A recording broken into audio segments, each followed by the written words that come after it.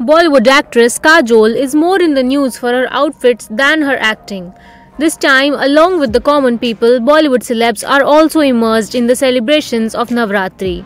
Recently, the actress has shared photos in blue sari on Instagram. In the photos, the actress wore a printed sari with a sleeveless blouse and carried a golden choker. Fans flooded the comment section of Kajol's post with comments with many praising her ethnic look and others calling the actress beautiful and a natural beauty. Along with photos of herself smiling and posing in front of a room, Kajol wrote in her caption, Simplicity may be key, but who can resist a royal hue? Fourth day of Navratri. One fan commented on her post, Okay, so red and blue is your color. Another said, You look so beautiful. Another wrote, Stunning. A day earlier, Kajol had shared photos of herself wearing a red sari in a printed blouse.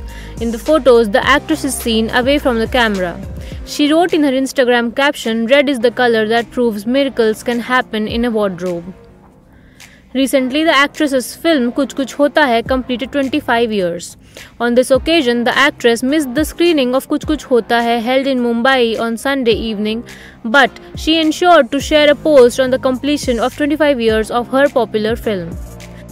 Kajol posted some pictures on this special occasion on her Instagram, in which the actress is again seen in the same old style, in Anjali getup.